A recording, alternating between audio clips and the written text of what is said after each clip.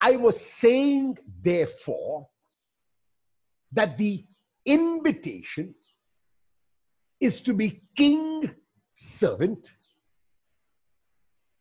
servant king, king who becomes king by being servant, and king who becomes king only by being servant. And I'll tell you why I am stressing the word only. When you look at the text and you look at the entire gospel, you will realize that other ways are suggested. For example, when Simon Peter answers, You are the Christ, Simon Peter suggests another way. After the second passion and resurrection prediction in 931, the disciples seem to be suggesting another way. In the third passion and resurrection prediction, in chapter 10, verses 32 to 34, and later, what follows later in 10 35 to 40, James and John and the other disciples seem to be suggesting another way.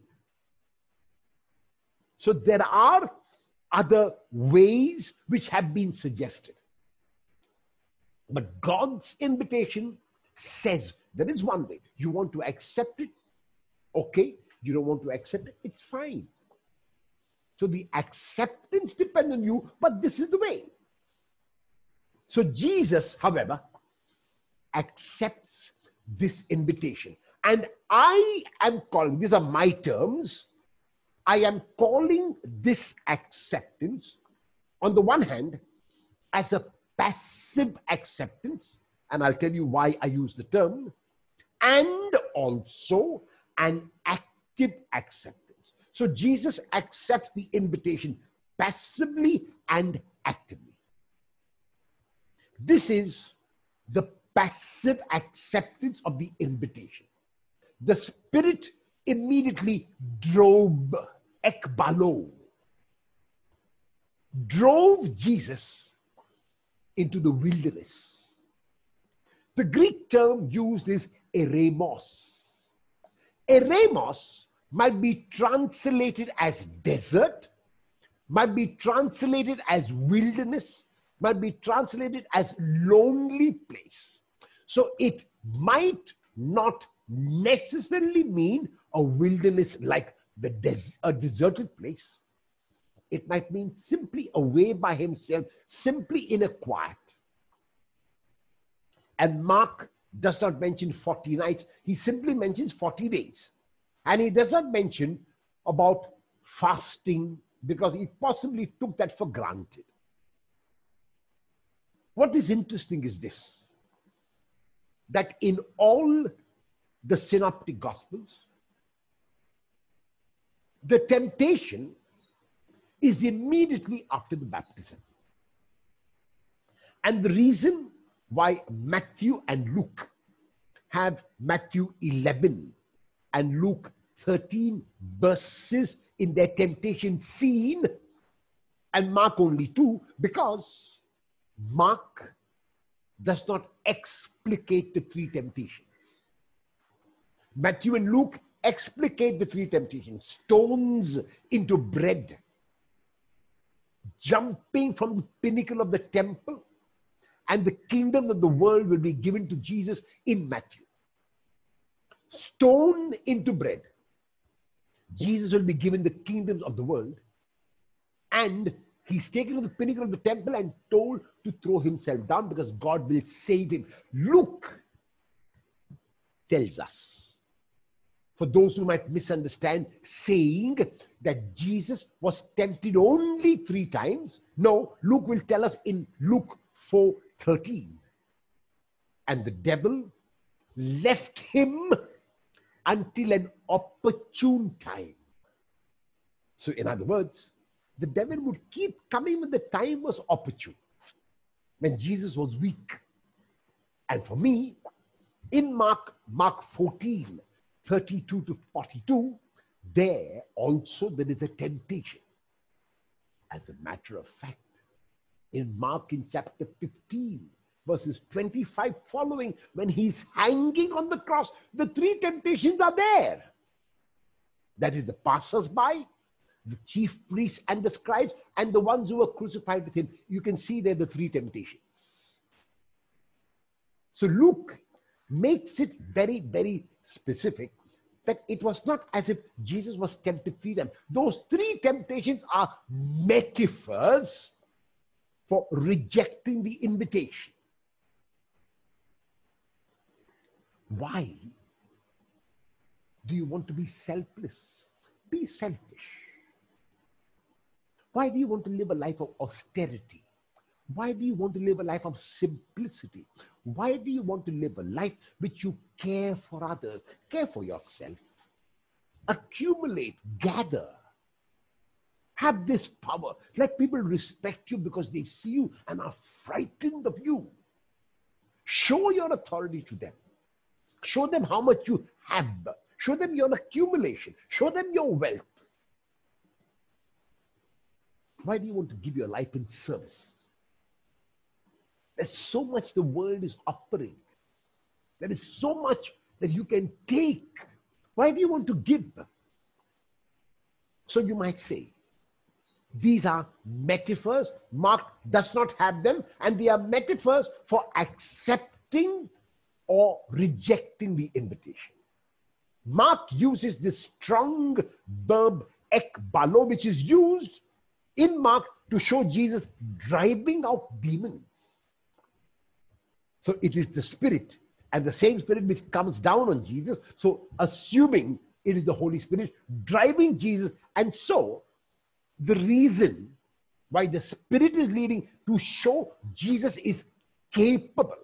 I will face the challenge head on. I will not run away. I will not hide from it. I will face the challenge head on. Yes, there will be temptations. Yes, there will be challenges, but I'm going to face them. Because Mark mentions only 40 days and not 40 nights, and because even though there might be other references to which it might appeal, Exodus 34, 28, Moses, Deuteronomy 9, 9, 9, 9 and 9, 18, once again Moses and Elijah in 1 Kings 19, 8, there in all the cases, it is mentioned 40 days and 40 nights.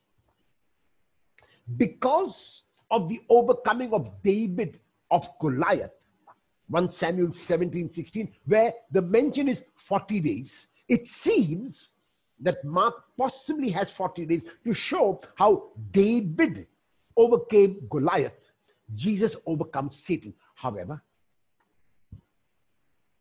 David, the reference to David is made also later in chapter 12, verses 35 to 37. So it is likely that Jesus is also, for Mark, the new David, the new king. So while in all the three of Exodus, Deuteronomy, and Kings, the references are to 40 days and 40 nights. It is in 1 Samuel 17, 16 alone that it is 40 days. Adam, as representing the first human person, sinned. And because of Adam's sin, there was this split, there was this break, there was this triple alienation. And the triple alienation was humans between humans. The person you gave me, gave me, and so I ate humans blaming human beings. The second is the alienation between humans and nature. The serpent gave me and so I ate, blaming human nature. And the third is between humans and God, the triple alienation, Genesis 3 14 to 15. And because there is this triple alienation. Human beings are always at loggerheads with nature. You will strike its head and it will strike your heel. Now that Jesus is with nature, he is in the wilderness, is an indication that Jesus also is the new Adam. So we notice here, if Mark in Matthew's genealogy goes through great pains to show that Jesus is of the lineage of Abraham and David. And Luke's genealogy goes through great pains to show that Jesus is of the lineage of the first human being, Adam. Here in these verses, both David and Adam seem to have been brought together by Mark. By showing the 40 days and the overcoming, like David overcame Goliath, Jesus overcomes Satan. Goliath is the name given for a huge person. And like Adam went away from God or was pushed away by God, Jesus now comes close to God. This verb peirazo can be used in both senses. So God wants to test your mettle. As a matter of fact, now in the COVID 19 situation, we could interpret this to say we are being tested, we are being tried. It is a challenging situation. And there are a variety of responses. That it is a trial, there is no doubt. Is it a trial from God? Is it a trial from Satan? That can be debated. But that we are being put to the test, we are being tried, nobody can deny. And the response we give can be of a variety of responses. And we have an example in Jesus of how to respond. So it could be God putting us to the test to show us what are we made of within. Is your faith a fair weather faith? When things are going well, God loves me, God cares for me, God is this and God is that. And now I can't see God's hand. I can't feel God's presence.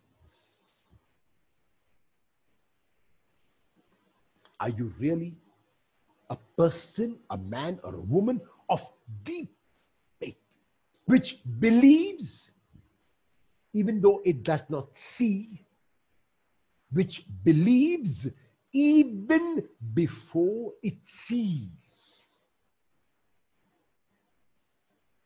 Another way to understand peirazo is that Satan tried to draw Jesus away. What is the sense of believing in God? Look at your state. Look at the state of the world. People are dying. There seems to be no end in sight. Given to despondency, given to depression, what sense does it make to continue? Makes no sense at all. So that is what the message is. And these two kingdoms will keep coming. Even now, those two kingdoms are before us the kingdom of God and the kingdom of Satan. The kingdom of Satan seems to say, it's of no use. What is the point in persevering? What is the point in persisting? It makes no sense at all. People are committing suicide. Give up. Give up give in. And we can see, and we are blessed that we can see, that Jesus also has gone through these challenges. if I did not mention this earlier, I did. I'm doing it now. And if I did mention it earlier, I think it bears repeating Sometimes we might say, Jesus was God. Jesus was Son of God. And so, therefore, he could do it easily. If you say that, there is the danger of giving in to what is known as Docetism. D O C E T I S M. Docetism, where we believe that Jesus is not fully human, he is merely an avatar. The avatar is not fully human. It seems to us to be human. But Jesus is different. Jesus is different. Jesus was human in every single sense of the word. And the evangelists, Matthew and Luke, through the birth narrative, and Mark, through this temptation scene, want to show that humanity. If he was God, he could not be tempted. God cannot be tempted. What is God going to be tempted against and for? Everything belongs to God. So Mark shows that humanity. Of course, Mark shows it in many, many other ways. But Matthew and Luke also, one of their intentions in the infancy narrative is to show that humanity. See, he is born of a woman, like every one of us is. And so, therefore, Mark is telling us that just because human doesn't just because God's son doesn't mean he could not be tempted because he is human.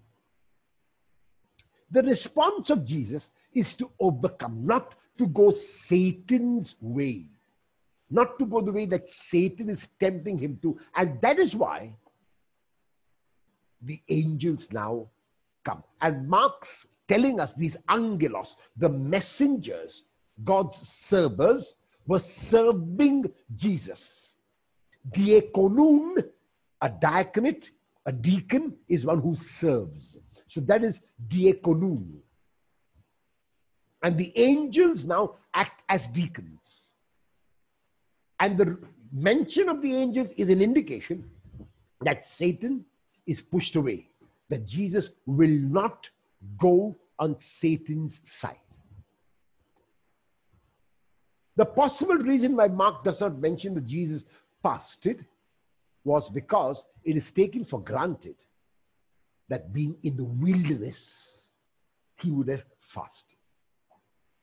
Because Matthew and Luke want to specify the stones into bread, they speak about the fast of Jesus. And so Jesus is the Adam, the second Adam, the new Adam, the obedient Adam, who will not give into the temptation. And I call this the passive acceptance.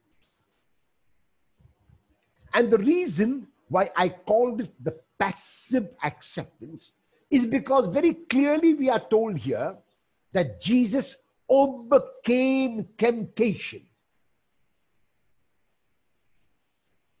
And so, Jesus overcomes temptation, and the angels wait on him. When we come to the active overcoming of temptation, we will see what is meant and how it is distinguished from passive. If you remember the structure which I proposed, the first 13 verses are where Jesus is in the desert. The next is the Galilee section, and we will deal just now with the Galilee section. Because the Galilee section is a large section made up of a number of chapters, I am going to divide this Galilee section into three chapters. And each of these three chapters is structured in a similar way. The first chapter begins in chapter 1, verse 14, and ends in chapter 3, verse 6. This chapter, I call these three chapters one chapter for our purposes. This chapter is divided into four parts. And the first part is a summary or a proclamation. The second part in this chapter is connected with the disciples. And here it is connected with the call of the first four disciples Simon and Andrew, James and John. The next part in this chapter, the third of the four parts, is where the kingdom comes, but the kingdom comes with authority. And the fourth part in this chapter is where there is a conflict. And in the first chapter, the conflict is the Pharisees and Herodians who go out and plot to destroy Jesus. The second chapter I call and term as a chapter of struggle because in these verses, the kingdom will come. It has come, but with difficulty. And like in our first chapter, there is a summary here. The summary is about the teaching ministry of Jesus and the response to that teaching ministry. There is also, as in the first chapter, the disciples. And here, unlike earlier on where it was the call, here it is the choice of the disciples and their naming. So we are given the list of the disciples in Mark chapter 3, verses 13 to 19. The kingdom comes, yes, but it comes with difficulty. Another synonym for difficulty is struggle. And finally, there is conflict. Notice the conflict here. His own town's people, the people from his hometown, are the ones who create the conflict. In the third chapter, and you notice, which begins in 6, 6b and ends in 821. If you look above, at the word Galilee, you will notice the first beginning of the Galilee section 114 is what begins our first chapter, which I have titled Authority. And the last verse in the Galilee section 821 ends our Galilee section, which I have titled the third chapter, Jew and Gentile, also 821. So 114 to 821, the section of Galilee is divided into three chapters. And in the third chapter, there is in one verse, and Jesus went about among the villages teaching. A summary given of the activities of Jesus. Someone may say, if Mark says, and Jesus went about among the villages teaching. Why have you put teaching and healing? Because we will see right from the beginning of the gospel, there is no dichotomy between the words of Jesus and his action. Jesus says what he does, and he does what he says. Like in the first two chapters, where there was something connected with the disciples, here there is the sending of the disciples. The disciples are sent on mission. Unlike most rabbis at the time of Jesus, where the disciple would sit at the feet of the rabbi and learn for a lifetime and continue learning, in the case of the disciples of Jesus, they learned and were sent. So if we look at the first disciples in chapter 1, verses 16 to 20, they are called If we look at the second time where the choice is made, they are with the Lord. And if we look at the third time, they are sent out. So a different kind of relationship with the disciple. The Gospel of Matthew is a gospel which is very, very particular within the gospel. It becomes universal at the end of the gospel.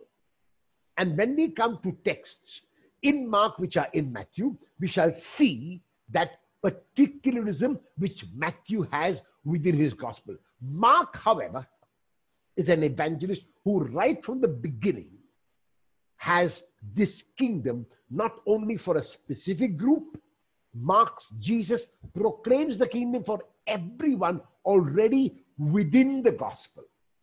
As I said, the Matthean Jesus is exclusive, is particular, is restricted within the gospel, but not the Markan Jesus, whose kingdom is available for all. And once again, like in the earlier two chapters, there is the conflict. And this conflict is with the disciples. If you look at the word conflict in all the three chapters, what we notice is this that if in the first chapter the conflict is with what we might call outsiders, the second chapter, the conflict comes closer home. It is the townspeople, the people of his hometown. And in the third chapter, it comes even closer. The conflict is created by the disciples. So, this is how we will deal with the Galilee section made up of three chapters. They have been termed authority, struggle, Jew, and Gentile because even as we go through these chapters, we will see that this is how they have been narrated by Mark.